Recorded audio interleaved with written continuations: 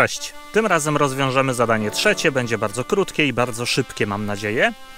Treść tego zadania brzmi następująco. Który z pojazdów porusza się szybciej? Motocykl, którego prędkość wynosi 40 km na godzinę, czy samochód jadący z prędkością 15 metrów na sekundę? Tak naprawdę trzeba porównać te dwie prędkości ze sobą. E, aby to zrobić, no to musimy ustalić te same jednostki. Pierwsza prędkość wynosi 40 km na godzinę, druga prędkość V2 wynosi 15 metrów na sekundę. E, metody są dwie. Pierwsza metoda, taka łatwa w mojej ocenie, to jest po prostu metoda z wartością 3,6. Jeżeli chcemy zamienić prędkość e, podaną w kilometrach na godzinę na metry na sekundę, to musimy podzielić przez 3,6 Natomiast e, jeżeli chcemy zamienić e, metry na sekundę na kilometry na godzinę, to musimy pomnożyć razy 3 i 6 i to jest najłatwiejsza metoda na rozwiązanie tego zadania.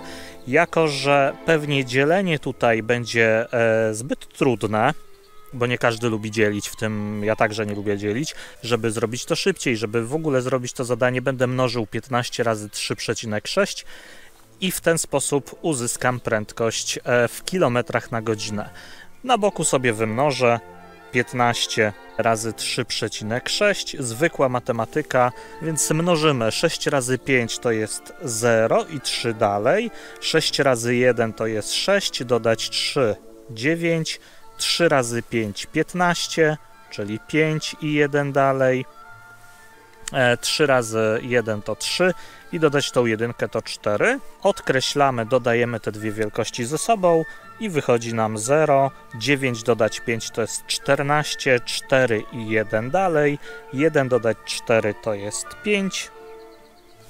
Dokładnie tam, gdzie był przecinek, tam piszemy sobie przecinek, więc wynik to 54, 54 czego? Kilometrów na godzinę oczywiście, więc wynik tutaj wynosi 54 km na godzinę i w ten sposób ustaliliśmy, że prędkość V2, czyli prędkość samochodu, jest większa niż prędkość motocyklisty i to już jest koniec zadania.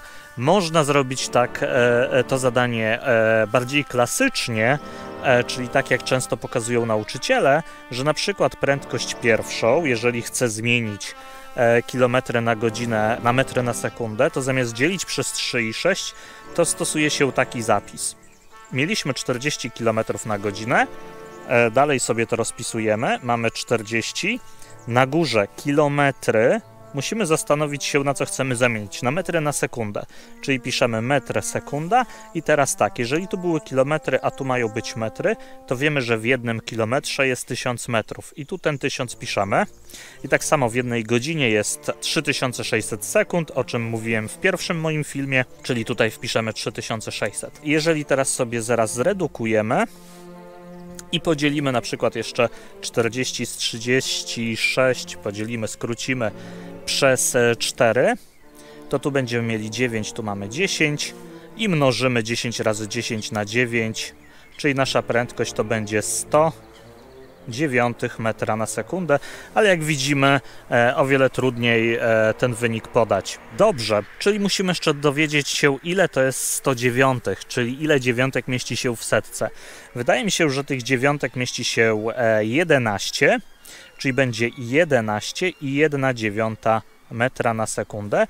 I też widzimy, że e, zamieniliśmy sobie z kilometrów na godzinę na metry na sekundę i też potwierdzamy, że prędkość V2, która była podana w metrach na sekundę, wynosiła 15 metrów na sekundę, a ta wynosi tylko 11,1, więc faktycznie V2 za każdym razem jest większy od V1, co też e, należało sprawdzić w tym zadaniu.